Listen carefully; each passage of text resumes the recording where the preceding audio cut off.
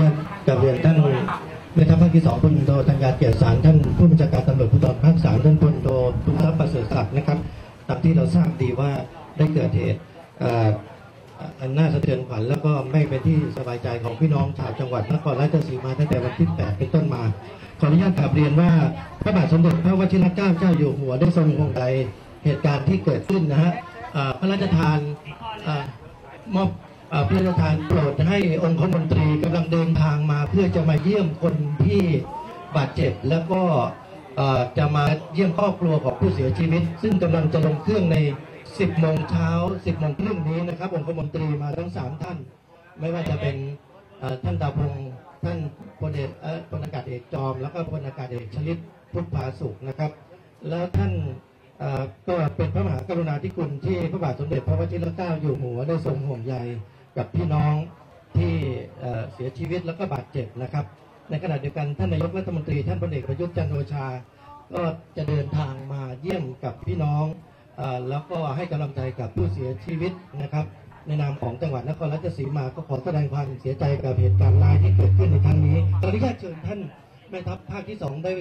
พูดถึงสถานการณ์ทั่วไป แล้วก็เรียนเชิญท่านผู้บัญชาการตำรวจภูธรภาคสามได้พูดถึง การเข้าปราบปรามการก่อการร้ายในครั้งนี้ แล้วก็เรียนเชิญท่านนายแพทย์สาธารณสุขจังหวัดได้พูดถึงการเสียชีวิตแล้วก็จำนวนบาดเจ็บครับขออนุญาตเรียนเชิญท่านแม่ทัพเลยครับท่านสื่อมวลชนทุกท่านครับก่อนอื่นพวกเราทุกคนที่ร่วมปฏิบัติหน้าที่ขอแสดงความเสียใจต่อครอบครัวและผู้เสียชีวิต และผู้ที่รับบาดเจ็บทุกท่านนะครับ ในเหตุการณ์ครั้งนี้นะครับ เหตุการณ์ที่เกิดขึ้นพวกเรา เจ้าหน้าที่ทหารและตำรวจที่ปฏิบัติหน้าที่เวรยามและรักษาการได้ร่วมกันปฏิบัติหน้าที่อย่างเต็มที่ความสามารถเพื่อป้องกันและสกัดกั้นไม่ให้เกิดเหตุการณ์ แต่ผู้ก่อเหตุได้กระทำการอันรุนแรงหรือใช้อาวุธที่ติดตัวมาทำร้ายเจ้าที่รักษาการและก็ขังกระสุนจนกระทั่งบาดเจ็บและเสียชีวิตในเวลาต่อมา แล้วได้แย่งชิงรถรถจี๊ปนะครับรถทางราชการแล้วก็ปืน HK33 นะครับพร้อมกระสุนออกจำนวนหนึ่งมาก่อเหตุในครั้งนี้ ซึ่งในพวกที่ผ่านมากองทัพภาคที่สองได้จัดกำลังส่วนหนึ่งได้ร่วมปฏิบัติการกับทางพนักงานตำรวจแห่งชาติ ร่วมกันแก้ไขปัญหาจนรุ่ล่วงนะครับ และยังได้จัดกำลังคนอีกส่วนหนึ่งนะครับได้ร่วมในการที่ไปดูแลคนบาดเจ็บบริจาคโลหิตประมาณ 300 กว่านาย ในการดูแลผู้บาดเจ็บทั้งหมดนะครับ เพื่อดูแลผู้บาดเจ็บที่อยู่ในโรงพยาบาลต่างๆ ทั้งเจ็ดโรงพยาบาลนะครับ ซึ่งกองทัพภาคที่สองเองขอ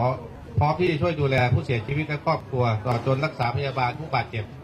ร่วมกับกระทรวงสาธารณสุขอย่างเต็มขีดความสามารถนะครับเรามีโรงพยาบาลอ่าค่ายสุรนารีที่ร่วมกันรักษาพยาบาลนะครับ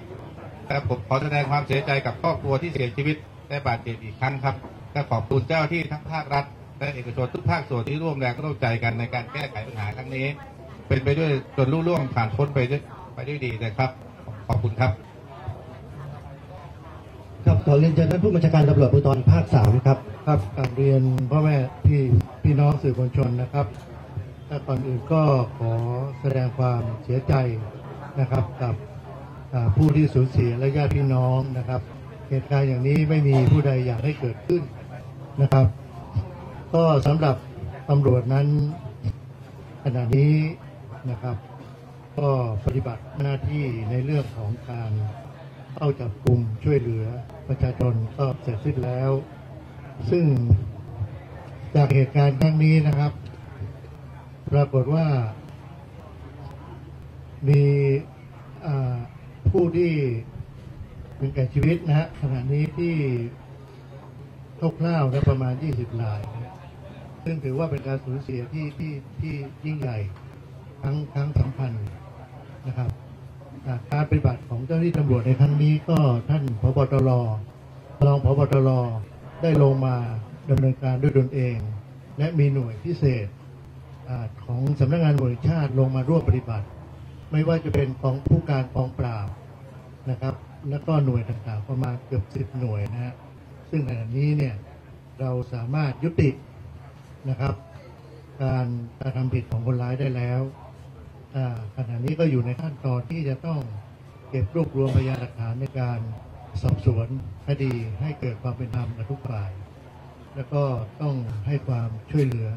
ประชาชนที่อ่าได้รับบาดเจ็บที่สูญเสียนะครับ อันนี้เราก็ไม่รู้จะพูดอะไรมันก็เราก็อยู่กันทั้งคืนทั้งวันเนี่ยนะครับอะเชิญท่านผู้ว่าดีกว่ากับเชิญท่านนายแพทย์สาธารณสุขได้พูดถึงจำนวนคนเสียชีวิตและคนบาดเจ็บครับ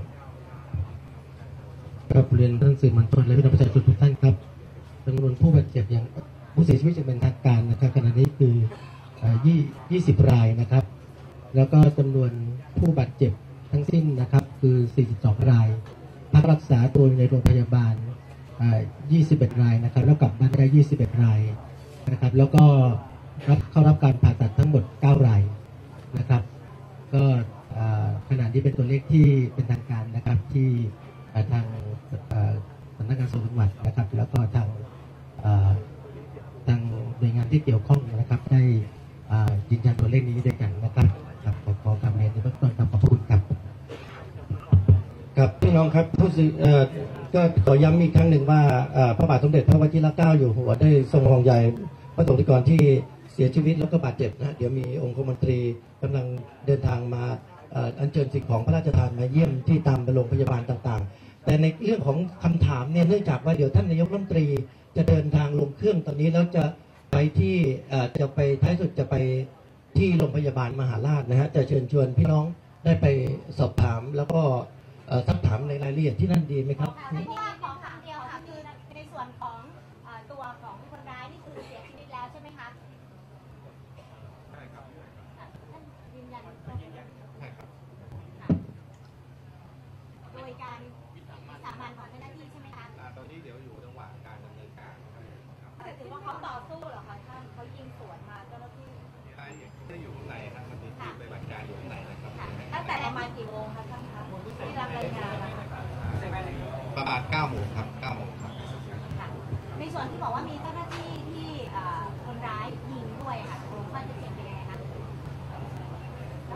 มีการต่อสู้ใช่ไหมคะเป็นวิสามันครับมาถึงเหตุการณ์เมื่อคืนที่มีการปะทะกันเนี่ยเจ้าหน้าที่คือเสียชีวิตเสียชีวิตในในเจ้าหน้าที่ตำรวจเสียชีวิตมีการหมายเริ่มเริ่มเช้าเริ่มสำเร็จแล้วหมายถึงว่าเจ้าหน้าที่ตำรวจนะคะเจ้าหน้าที่ตำรวจเสียชีวิตขณะที่เราปะทะครับเจ้าหแล้น้าวที่มีตำรวจฮะมีกี่นายอะครับเดี๋ยวอยู่นอกไปนะซึ่งยังไม่ได้รวมกับยอดที่ท่านนายแพทย์แถลงก็อยู่ใช่ในไหมนี้คะฮะอยู่ในนี้ครับรวมแล้วคือ20ราย20นะคะค่ะตำรวจสองรายนะค่ะนี่เป็นการแถลงข่าวยืนยันกันแล้วค่ะเป็นรายงานแถลงข่าวยืนยันนะคะจากทางผู้จัดการจังหวัดนครราชสีมาในทางภาคที่สองจุดการที่สองยืนยันว่ายืนยันว่าการไม่ต้อง ขอความยาวว่าจะเพิ่มเข้าไปนะตอนนี้เราต้องแต่คนที่มานะครับซึ่งเราจะให้ตำรวจเราแจ้าตัวดีนะครับมีอายการอย่างเป็นทางการนะครับ20รายครับบาดเจ็บก็ไป42